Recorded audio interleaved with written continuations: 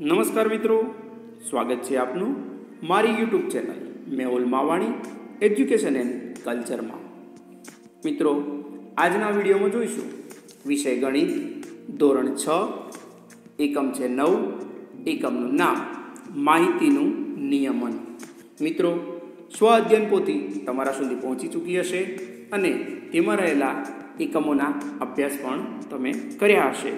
જે પૈકી આજના વિડીયોમાં જોઈશું માહિતીનું નિયમન. તેમાં આપેલા દાખલાઓની સમજૂતી. વિડીયોની શરૂઆત કરીએ. તે પહેલાં, મિત્રો, આ ચેનલમાં પહેલીવાર છો કે આ વીડિયો પ્રથમવાર જોઈ રહ્યા છો, તો લાઈક જરૂરથી કરશો અને સબસ્ક્રાઈબ જરૂરથી કરશો. મિત્રો, વિડીયોની શરૂઆત કરીએ.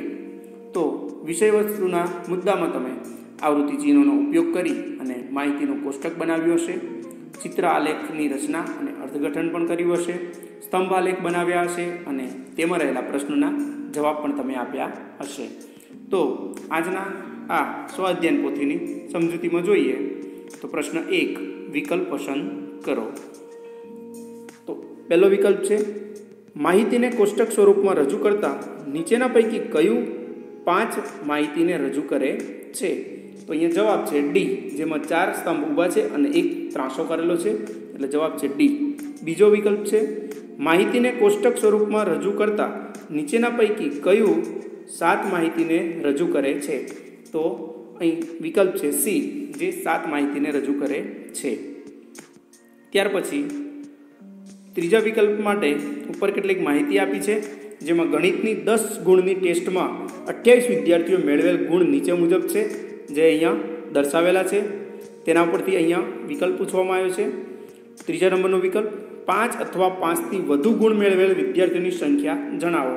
તો પાંચ કે તેથી વધુ વિદ્યાર્થીઓના ગુણ ધરાવે છે, તેનો વિકલ્પ છે ડી, સત્તર.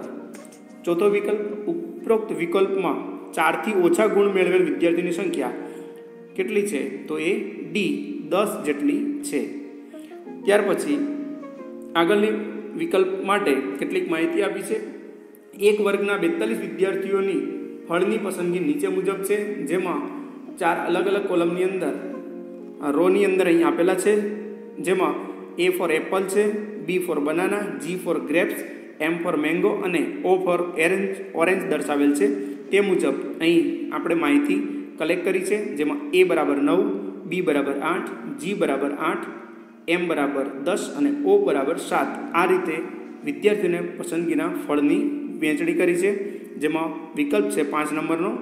કયા બે ફળ વિદ્યાર્થીઓને સમાન સંખ્યામાં પસંદ કર્યા? તો અહીંયા જોઈએ તો બી એટલે કે બનાના આઠ અને ગ્રેપ્સ આઠ. એટલે જવાબ છે ડી, બી અને જી. તો બનાના અને ગ્રેપ્સ બે સમાન પસંદગીમાં આવેલ છે. ત્યાર પછી વિકલ્પ પાંચની માહિતી પ્રમાણે કયું ફળ સૌથી વધુ પસંદ થયું છે? તો છઠ્ઠા વિકલ્પનો જવાબ છે એમ, મતલબ મેંગો એ સૌથી વધુ પસંદ થયેલું ફળ છે, જેની સંખ્યા છે દસ. સાતમો વિકલ્પ, નીચેના ચિત્ર આલેખ પરથી ધોરણ છના વિદ્યાર્થીઓની સંખ્યા કેટલી થાય? તો અહીંયા ધોરણ છ આપ્યું છે, જેમાં વિદ્યાર્થીઓની સંખ્યાને એક સ્ટાર સ્વરૂપે દર્શાવે છે, જેના બરાબર દસ વિદ્યાર્થીઓ થાય છે. તો અહીંયા ચાર સ્ટાર આપેલા છે, એટલે કે દસના ગુણાંકમાં ચાર કરીએ તો ચાલીસ થશે. એટલે જવાબ છે બી, ચાલીસ. પ્રશ્ન બે, ખાલી જગ્યા પૂરો. એમાં છે આઠ નંબર, માહિત ખાલી જગ્યા એટલે એકત્રિત કરેલ અથવા આપેલ આંકડાઓનો સમૂહ, જેનો જવાબ થશે ખાલી જગ્યામાં આવશે માહિતી. નવમી ખાલી જગ્યા જોઈએ, તો માહિતીને કોષ્ટક સ્વરૂપે ગોઠવવા ખાલી જગ્યા ચિહ્નનો ઉપયોગ થાય છે. તો જે ચિહ્ન કહીએ છીએ, જેને આપણે આવૃત્તિ તરીકે ઓળખીએ છીએ. તો જવાબ થશે આવૃત્તિ. દસમો, ખાલી જગ્યા જોઈએ. તો ખાલી જગ્યા એ માહિતીને વસ્તુઓના ચિત્રો દ્વારા રજૂઆત છે. તો એ માહિતીને ચિત્રો દ્વારા રજૂઆત કરે, જેને આપણે ચિત્ર આલેખ કહીએ છીએ. અગિયારમો, ખાલી જગ્યા, સ્તંભ અથવા લંબ આલેખમાં આડા કે ઊભા ખાલી જગ્યા દોરી શકાય છે. તો ખાલી જગ્યાનો જવાબ છે સ્તંભ દોરી શકાય છે, સ્તંભો દોરી શકાય છે. બારમો, ખાલી જગ્યા, સ્તંભ અથવા લંબાલેખમાં ખાલી જગ્યા પહોળાઈના આડા કે ઊભા સ્તંભો દોરી શકાય છે, જેમની વચ્ચે ખાલી જગ્યા અને અંતર હોય છે.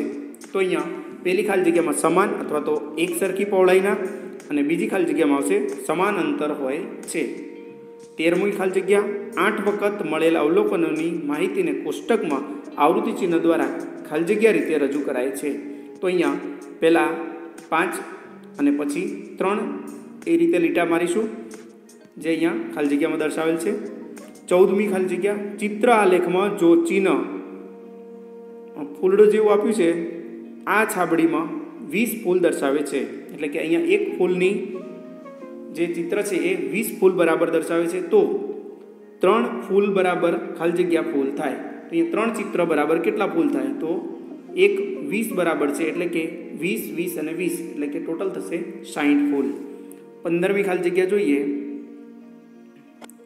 તો પ્રમાણમાં એક એકમ લંબાઈ બરાબર દસ કરોડ છે, તો છ એકમ લંબાઈનો સ્તંભ ખાલી જગ્યા કરોડ રજૂ કરે છે અને ખાલી જગ્યા એકમ લંબાઈ પંચોતેર કરોડ રજૂ કરે છે. તો અહીંયા એકમ, એક એકમ લંબાઈ બરાબર દસ કરોડ છે, માટે છ એકમ બરાબર સાહીઠ કરોડ થશે.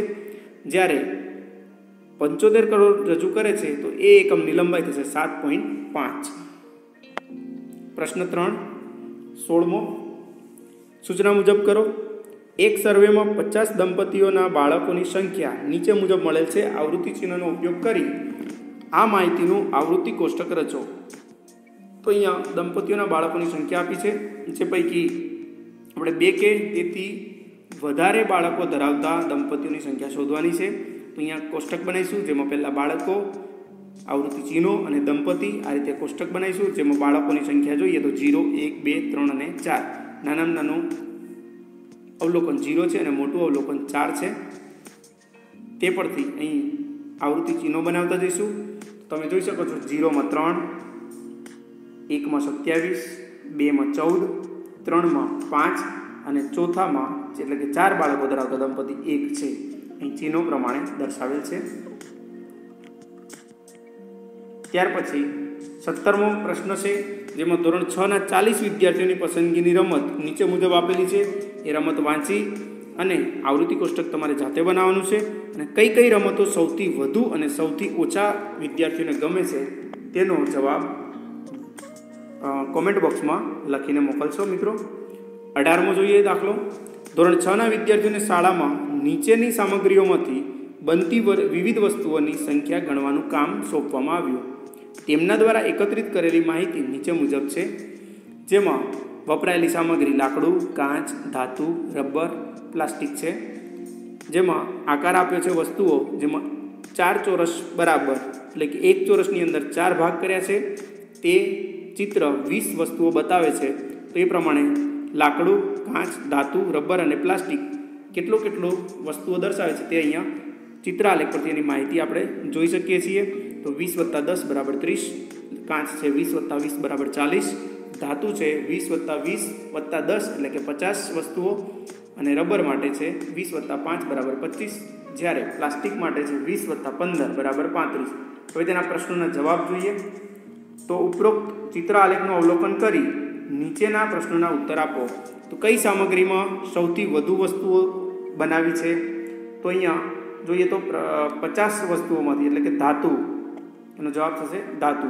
કઈ સામગ્રીમાંથી સૌથી ઓછી વસ્તુઓ બનાવી છે? તો તેનો જવાબ છે રબર. ધાતુઓમાંથી બનેલ વસ્તુઓ કરતાં અડધી વસ્તુઓ કઈ સામગ્રીમાંથી બનાવી છે? એ પણ આવશે જવાબ રબર. વિદ્યાર્થીઓ દ્વારા ગણવામાં આવેલ કુલ વસ્તીઓ, કુલ વસ્તુઓ કેટલી? તો અહીંયા આપણે ત્રીસ, ચાલીસ, પચાસ પચીસ અને પાંત્રીસનો સરવાળો કરીશું જવાબ મળશે એકસો ને એંસી. ત્યારબાદ ઓગણીસમો દાખલો છે, જે અત્યારે આપણા ગુજરાત અને છત્તીસગઢના ટ્વિનિંગ પ્રોગ્રામ ચાલી રહ્યો છે, તો એ પ્રમાણે અહીં પ્રશ્ન આપેલો છે કે છત્તીસગઢ રાજ્યના કેટલાક જિલ્લાઓના વિસ્તાર ચોરસ કિલોમીટરમાં ચિત્ર આલેખ દ્વારા દર્શાવેલ છે. તો એ માહિતી પરથી નીચેના પ્રશ્નોના જવાબ લખીએ. તો જિલ્લા આપે છે, છત્તીસગઢના રાયગઢ, રાજનંદગાંવ, કોરિયા મહાસમ મહાસમુદ્ર, કબીરધામ અને જસપુર. જેના ક્ષેત્રફળ ચોરસ કિલોમીટરમાં એક વર્તુળ બરાબર, એટલે કે એક વર્તુળનું ચિત્ર બરાબર એક હજાર ચોરસ કિલોમીટર છે. તે પ્રમાણે રાયગઢના છ હજાર પાંચસો રાજનંદગાંવના સાત હજાર, કોરિયાના છ હજાર મહાસમુદ્ર પાંચ હજાર, કબીરધામના ચાર હજાર અને જસપુરના છ હજાર પાંચસો છે. તે પ્રમાણે પ્રશ્નો વાંચીએ તો કોરિયા જિલ્લાનો વિસ્તાર શું છે? તો કોરિયા જિલ્લાનો વિસ્તાર છ હજાર ચોરસ કિલોમીટર થાય. કયા બે જિલ્લાના વિસ્તાર સમાન છે? તો અહીં જોઈ શકો છો, તો છ હજાર પાંચસો અને છ હજાર પાંચસો એટલે કે રાયગઢ અને જસપુરના જિલ્લાના વિસ્તાર સરખા છે. સી, પાંચ હજાર ચોરસ કિલોમીટરથી વધુ વિસ્તારવાળા જિલ્લાઓની સંખ્યા કેટલી છે? તો પાંચ હજારથી વધુ ચોરસ કિલોમીટર ધરાવતા હોય તો રાયગઢ, રાજનાંદગાંવ, કોરિયા અને જસપુર. આ ચાર જિલ્લાઓ એવા છે જે પાંચ હજાર ચોરસ કિલોમીટરથી વધુ જિલ્લાઓની સંખ્યા દર્શાવે, વિસ્તાર દર્શાવે છે. વીસમો દાખલો જોઈએ. તો એક દુકાનદાર દ્વારા અઠવાડિયાના છ દિવસમાં ઠંડા પીણાની બોટલ વેચવાના આંકડા નીચે મુજબ છે, જેમાં દિવસ, સોમ, મંગળ, બુધ ગુરુથી લઈ અને શનિવાર સુધી છે, જ્યારે બોટલની સંખ્યા નીચે આપેલી છે. તેને આપણે એક ચીનો પચાસ બોટલ દર્શાવે તેમ આ માહિતીનો ચિત્રાલેખ તૈયાર કરીશું. તો આ રીતે તમે ઊભાની જગ્યાએ આડી રીતે પણ દર્શાવી શકો છો, જેમાં ઉપર વાર આપે છે એટલે કે દિવસ અને નીચે આપણે બોટલની સંખ્યાને ચિત્ર સ્વરૂપે દર્શાવી છે, જેમાં બોટલને ગોળ ભાગ તરીકે દર્શાવે છે. તો સોમવારે ત્રણસો પચાસ, એટલે કે એક ચિત્ર એ પચાસ બોટલ દર્શાવે છે. તો અહીંયા છ અને એક અડધી બોટલ દર્શાવીશું, જે છસો, ત્રણસો પચાસ દર્શાવે છે. મંગળવારમાં બસો એટલે ચાર બોટલ દર્શાવીશું. એ તે બુધ, ગુરુ, શુક્ર અને શનિમાં ચિત્ર પરથી તમે જોઈ શકો છો. એકવીસમો આપ્યું છે.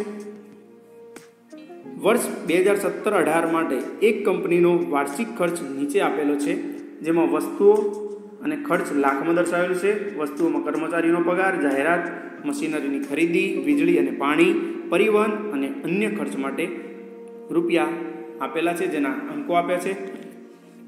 તો એ મુજબ રૂપિયા દસ લાખને દર્શાવતા યોગ્ય ચિહ્ન ઉપયોગ કરી ચિત્ર આલેખ તૈયાર કરો. તો અહીં એ ચિત્ર આલેખ માટે જગ્યા આપેલી છે. ત્યાં તમારે ચિત્ર તૈયાર કરવાનું છે અને એનો ફોટો પાડી અને કોમેન્ટ બોક્સમાં જરૂરથી મોકલશો મિત્રો. બાવીસમો પ્રશ્ન જોઈએ તો રસોઈ માટે વિવિધ બળતણોનો ઉપયોગ કરતા ઘરની સંખ્યા સોમાંથી દર્શાવતો સ્તંભ અથવા લંબ આલેખ નીચે આપેલ છે. આલેખ વાંચન કરી નીચેના પ્રશ્નોના જવાબ આપો.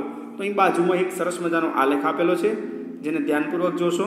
જેમાં બળતણના પ્રકાર અને ઘરની સંખ્યા આપેલી છે અને સ્તંભ આલેખમાં લાકડું, એલપીજી, કેરોસીન વીજળી અને કોલસાના સ્તંભ દર્શાવે છે. જેના ઉપર આપણે જ્યાં સુધી એ સ્તંભ પહોંચ્યા છે, એના અંકો દર્શાવે છે. પચીસ, પાંત્રીસ, પચીસ, પાંચ અને દસ. તે પ્રમાણે બાજુના પ્રશ્નોના જવાબ મેળવીએ. તો સૌથી વધુ ઘરમાં વપરાતું બળતણ કયું? તો આલેખ ઉપરથી જોઈ શકીએ છીએ કે સૌથી વધુ વપરાતું કોણ છે? તો સૌથી ઊંચો આલેખ છે એલપીજીનો. એટલે કે જવાબ મળશે એલપીજી. બળતણ તરીકે કોલસાનો ઉપયોગ કરતા ઘરની સંખ્યા કેટલી છે? તો બળતણ તરીકે કોલસો વાપરતા હોય તેવા અહીં સ્તંભ બતાવે છે કોલસોમાં દસ, એટલે કે દસ ઘર એવા છે.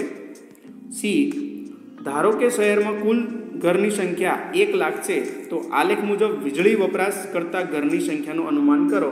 તો એ વીજળી વપરાશ કરતા પાંચ છે, તો એક ઘરની સંખ્યા એક લાખ ગણીએ, તો એ પ્રમાણે થશે પાંચ હજાર. ત્યાર પછી ત્રેવીસમો દાખલો છે. ભારતના કેટલાક નેશનલ હાઈવેની અંદાજિત લંબાઈ કિલોમીટરમાં દર્શાવતો સ્તંભ આલેખ અથવા લંબ આલેખ નીચે દર્શાવેલ છે. આલેખનો અભ્યાસ કરી નીચેના પ્રશ્નોના ઉત્તર આપો. તો અહીંયા આલેખને તમે ધ્યાનથી જોઈ શકો છો અને દરેક નેશનલ હાઈવે મુજબ તેમને અંતર મુજબ અહીં નંબર લખેલા છે. પાંચસો, નવસો, એક હજાર ચારસો, બારસો અને પંદરસો આ રીતે દર્શાવેલા છે. નેશનલ હાઈવે અને તેની કિલોમીટરમાં લંબાઈ દર્શાવી છે. તેના પરથી પ્રશ્નોનો જવાબ મેળવીએ. એ, સૌથી લાંબો નેશનલ હાઈવે કયો છે? તો અહીં સ્તંભાલેખમાં જોઈએ તો સૌથી લાંબો national highway national highway two છે, એટલે કે એનએચ ટુ. સૌથી ટૂંકો નેશનલ હાઈવે કયો છે? સૌથી ટૂંકો સ્તંભ કયો છે? તો અહીંયા પાંચસો કિલોમીટરવાળો સ્તંભ નાનો છે, જે નેશનલ હાઈવે દસ બતાવે છે, એટલે કે NH ten. C, national highway નવની લંબાઈ કેટલી છે? તો નેશનલ હાઈવે નવની લંબાઈ નવસો કિલોમીટર છે. ત્યારે જ્યારે ડી, નેશનલ હાઈવે દસ કરતાં ત્રણ ગણી લંબાઈ ધરાવતો નેશનલ હાઈવે કયો છે? ત્રણ ગણી લંબાઈ દસ, નેશનલ હાઈવે દસ કરતાં ત્રણ ગણી લંબાઈ. તો નેશનલ હાઈવે દસની પાંચસો છે. તે પૈકી પંદરસો એટલે કે ત્રણ ગણી થાય છે. તો જવાબ મળશે નેશનલ હાઈવે ટુ. ત્યાર પછી ચોવીસમો દાખલો છે. ભારતની કેટલીક નદીઓની લંબાઈ નીચે મુજબ દર્શાવેલી છે, તે માહિતી દર્શાવતો સ્તંભ અથવા લંબ આલેખ દોરો, જેમાં નદી અને તેની લંબાઈ કિલોમીટરમાં દર્શાવી છે. નર્મદા મહાનદી, બ્રહ્મપુત્રા, ગંગા, કાવેરી અને કૃષ્ણા, જેના લંબાઈમાં માપ આપે છે. તે પ્રમાણે આપણે સ્તંભાલેખ અહીં દોરેલો છે, જે તમે જોઈ શકો છો. તો અહીંયા એક્સ અક્ષ અને વાય અક્ષ જ્યાં જોડાય છે, ત્યાં જીરો અને એક્સ અક્ષ ઉપર નદીઓના નામ અને વાય અક્ષ ઉપર કિલોમીટરમાં અંક દર્શાવે છે. તેનું પ્રમાણ માપ છે વાય બરાબર વાય અક્ષ પર એક સેન્ટીમીટર બરાબર બસો કિલોમીટર. આ એકમ સિવાય તમે અલગ એકમ પણ લઈ શકો છો. મતલબ એક સેન્ટીમીટર બરાબર બસો કિલોમીટરની જગ્યાએ અન્ય પ્રમાણમાં પણ લઈ શકો છો. અહીં સ્તંભાલેખ એ રીતે દોરેલો છે. ત્યાર પછી પાછળ આપેલો પચીસમો પ્રશ્ન છે. વર્ષ બે હજાર બેમાં દેશમાં શાળાઓની સંખ્યાની માહિતી નીચે મુજબ દર્શાવી છે. તેના પરથી સ્તંભાલેખ કે લંબાલેખ રચો. તો શાળાનો પ્રકાર પ્રાથમિક, ઉચ્ચતર પ્રાથમિક, માધ્યમિક અને ઉચ્ચતર માધ્યમિક જેમાં સંખ્યા છે હજારમાં એંસી, પંચાવન, ત્રીસ અને વીસ. આનો સ્તંભાલેખ તમારે જાતે દોરવાનો છે અને તેનો ફોટો પાડી અને કોમેન્ટ બોક્સમાં મોકલી આપશો. મિત્રો, વીડિયો તમે સંપૂર્ણ જોયો હશે, પસંદ પણ આવ્યો હશે. તો આ ચેનલને ફરી એકવાર લાઈક કરશો સબસ્ક્રાઈબર સબસ્ક્રાઈબ કરશો, તેમજ તમારા મિત્રોના ગ્રુપમાં શેર કરશો અને કોમેન્ટ બોક્સમાં કોમેન્ટ જરૂરથી આપશો મિત્રો. તો ફરી એકવાર નવા વીડિયો સાથે ફરી મળીશું. Good bye